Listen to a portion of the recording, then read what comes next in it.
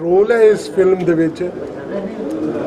ਉਹ ਇੱਕ positive role ਹੈ, ਜਿਹੜਾ ਅੰਗਰੇਜ਼ ਫੈਮਿਲੀ ਨੂੰ ਅਟਰੈਕਟ ਕਰਦਾ ਹੈ ਸਿੱਖੀ ਵੱਲ। ਜਿਹੜਾ ਅਟਰੈਕਟ ਕਰਦਾ ਹੈ ਰਿਸ਼ਤਿਆਂ ਬਾਰੇ। ਪੰਜਾਬ ਦੀ ਜੋ ਕਲਚਰ ਹੈ, ਉਸ ਚੀਜ਼ ਬਾਰੇ, ਉਸ ਫੈਮਿਲੀ ਨੂੰ ਅਟਰੈਕਟ ਕਰਦਾ ਹੈ। ਉਹ ਸਾਡੇ ਗਵਾਂਢੀ ਹੁੰਦੇ ਹੈ।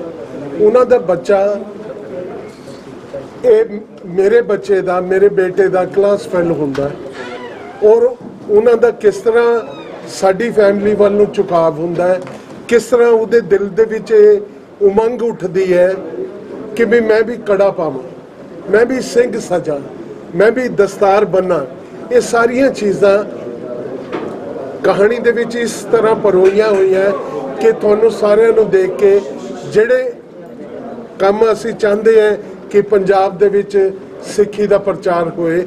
ਉਹ ਸਾਡੀ ਫਿਲਮ ਦੇਖ ਕੇ ਤੁਹਾਡਾ ਜਿਹੜੇ ਬੰਦਿਆਂ ਦਾ ਨਹੀਂ ਵੀ ਰੂਹ ਕਰਦੀ ਜਾਂ ਜਿਹੜੇ ਨਹੀਂ ਵੀ ਸਿੱਖੀ ਨੂੰ ਮੰਨਦੇ, ਉਹ ਵੀ ਮੰਨਣ ਲੱਗਣਗੇ।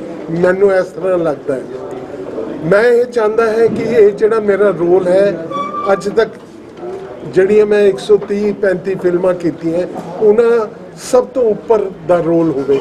ਉਹਨਾਂ ਸਾਰੀਆਂ ਫਿਲਮਾਂ ਦੇ ਵਿੱਚੋਂ ਇਹ ਮੇਰਾ ਰੋਲ ਸਭ ਤੋਂ ਬੈਸਟ ਹੋਵੇ। ਔਰ ਮੈਂ ਕੋਸ਼ਿਸ਼ ਕਰਾਂਗਾ, ਔਰ ਗੁਰੂ ਮਹਾਰਾਜ ਦੀ ਕਿਰਪਾ ਰਹੀ ਤੇ ਜ਼ਰੂਰ ਬਹੁਤ ਵਧੀਆ ਔਰ ਬਹੁਤ ਅੱਛੀ ਫਿਲਮ ਬਣੇਗੀ।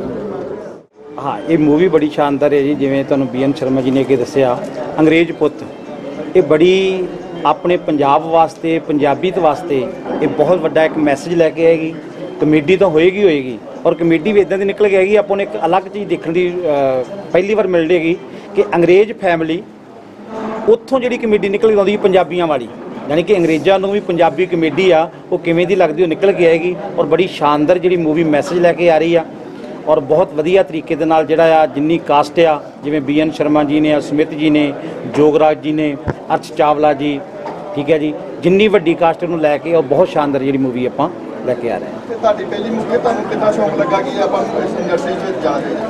ਮੈਨੂੰ ਸ਼ੌਂਕ ਬੜੇ ਚਿਰ ਦਾ ਸੀ ਜਦੋਂ ਦੀ ਬਚਪਨ ਦੇ ਯੋਗਰਾਜ ਉਹਨਾਂ ਦੀਆਂ ਸਰ ਉਹਨਾਂ ਦੀਆਂ ਮੂਵੀਆਂ ਦੇਖਦੇ ਆ ਜੀ। ਉਦੋਂ ਦਾ ਕਿਤੇ ਨਾ ਕਿਤੇ ਸੀਗਾ ਵੀ ਕੁਛ ਨਾ ਕੁਛ ਪੰਜਾਬੀ ਇੰਡਸਟਰੀ ਯੋਗਦਾਨ ਪਾਈਏ। ਲੇਕਿਨ ਇੱਕ ਜਿਵੇਂ ਮੈਂ ਪਹਿਲਾਂ ਵੀ ਦੱਸਿਆ ਕਿ ਡਰ ਸੀਗਾ ਕਿ ਇਸ ਇੰਡਸਟਰੀ 'ਚ ਐਂਟਰੀ ਕਿਵੇਂ ਹੋਵੇ। ਮਨੈਕ ਜੀ ਮੇਰੇ ਬੜੇ ਅੱਛੇ ਮਿੱਤਰ ਨੇ। ਪਿਛਲੇ 2 ਸਾਲ ਤੋਂ ਸਾਡੀ ਕਾਫੀ ਗੱਲਬਾਤ ਚੱਲ ਰਹੀ ਸੀ। ਇਹ ਵੀ ਚਾਹੁੰਦੇ ਸੀ ਕਿ ਪੰਜਾਬੀ ਇੰਡਸਟਰੀ 'ਚ ਕੁਝ ਕੀਤਾ ਜਾਵੇ। ਮੈਂ ਵੀ ਚਾਹੁੰਦਾ ਸੀਗਾ। ਆਖਿਰਕਾਰ ਸਾਨੂੰ ਇੱਕ ਚੰਗੀ ਸਟੋਰੀ ਮਿਲੀ ਜਿਹਨੂੰ ਲੈ ਕੇ ਅਸੀਂ ਥੋੜਾ ਅੱਗੇ ਚੱਲੇ ਔਰ ਮੈਂ ਥੈਂਕਸ ਕਰਦਾ ਕਿ ਇਹਨਾਂ ਨਾਲ ਸਾਡਾ ਟਾਈ ਅਪ ਹੋਇਆ। ਇਹ? 2020 ਦੇ ਵਿੱਚ ਹੈ ਜੀ ਕੋਸ਼ਿਸ਼ ਆ ਫਰਵਰੀ ਜਾਂ ਮਾਰਚ ਦੇ ਵਿੱਚ 2020 ਤੱਕ ਆਪਾਂ ਇਹਨੂੰ ਰਿਲੀਜ਼ ਕਰਾਂਗੇ। ਇਹਦੀ ਹਾਂ, ਜ਼ਿਆਦਾ ਜਿਹੜੀ ਲੋਕੇਸ਼ਨ ਹੈ ਉਹ ਤਰਨਤਾਰਨ ਡਿਸਟ੍ਰਿਕਟ ਦੇ ਵਿੱਚ ਕੋਸ਼ਿਸ਼ ਹੈ ਕਿ ਆਪਾਂ ਇੱਥੇ ਕਾਫੀ ਜਿਹੜਾ ਸ਼ੂਟ ਕੀਤਾ ਜਾਏਗਾ। ਕੁਝ ਲੋਕੇਸ਼ਨ ਫਿਰੋਜ਼ਪੁਰ ਦੀ ਵੀ ਹੈ, ਬਾਕੀ ਕੈਨੇਡਾ ਸ਼ੂਟ ਹੈਗਾ, ਟੋਰਾਂਟੋ ਦੇ ਬਾਰੇ ਤੁਹਾਨੂੰ ਦੱਸ ਦਿੱਤਾ